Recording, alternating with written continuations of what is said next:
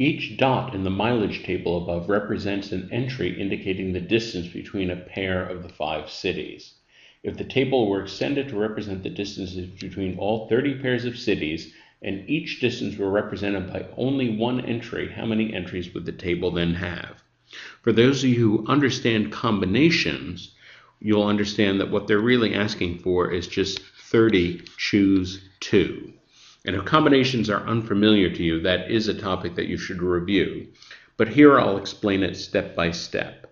So notice, first of all, just in the table they have, that only one half of the table is included. For example, there's a dot here for the distance from C to B. We don't have to have a corresponding dot here, the distance from B to C, because the distance from B to C and the distance from C to B are both the same. So we only need one dot for that distance. So suppose we have 30 cities. That means for any one city, it's going to have 29 other cities to which we can find a distance. So that would be 30 times 29 distances.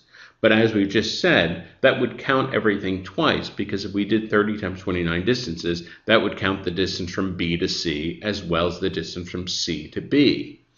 And so we don't want to count everything twice, so we just divide that by 2. So that is 15 times 29, canceling the 2. And that simplifies a little multiplication to 435. And this is answer choice B.